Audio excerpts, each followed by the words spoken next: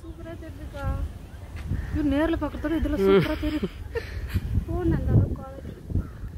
அப்படியே